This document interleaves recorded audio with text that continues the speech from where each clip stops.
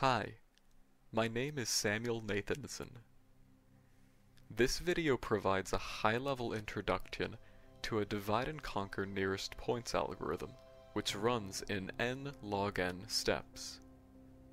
This video will not cover specific code level information required to implement this algorithm, but will, rather, provide a high-level structural overview of the algorithm's instruction steps.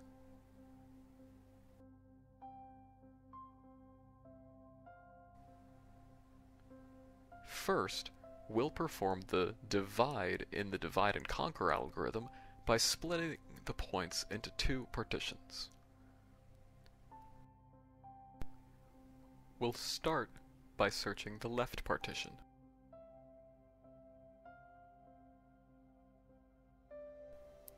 We'll continue repeating this divide and conquer process, splitting the partition into two smaller partitions of equal population until we reach a base case. With all divide and conquer algorithms, we'll need a base case. We'll keep dividing into two partitions until a partition has three or less points in it. Once we find a partition with three or less points, return the closest two points in constant time. In an inductive recursion model, this is our base case. Now, we'll go back up to the parent partition and search the right partition, which also happens to have three or less points. Once we find the minimum distance in the right partition, we need to compare the shortest distances from left and right partitions, and we'll call this shortest distance delta. Now, there's a possibility that delta is not the nearest distance in both partitions.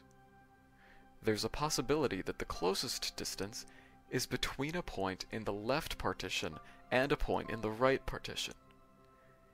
A cross-partition shortest distance, if you will. We'll need to find this in linear time in order to achieve the O of n log n runtime complexity.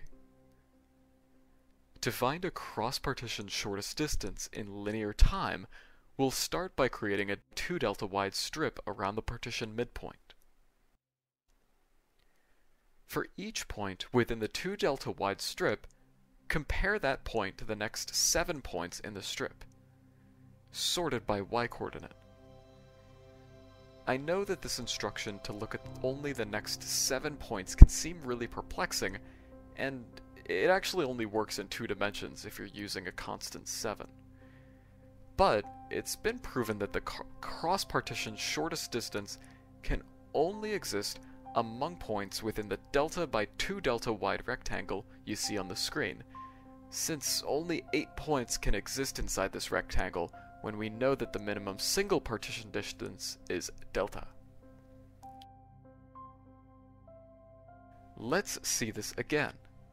Once we find the closest single partition distance delta, form a 2 delta wide vertical strip around the partition midline. Then, for each point in a list of points sorted by y-coordinates, compare that point to the subsequent 7 points in the list.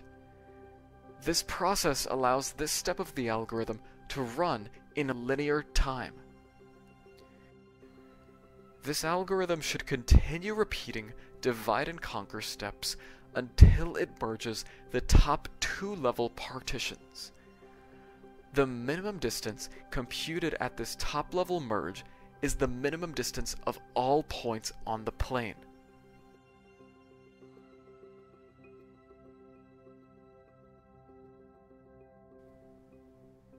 This algorithm is actually not the fastest algorithm to compute the two nearest distances. It's more efficient than the n-squared brute force algorithm, but it's not as efficient as a multi-threaded version of this dynamic divide and conquer algorithm. And yet again, there's actually a linear randomized algorithm that can run in linear time. But that said, I hope this video taught you more about the n log n nearest points algorithm.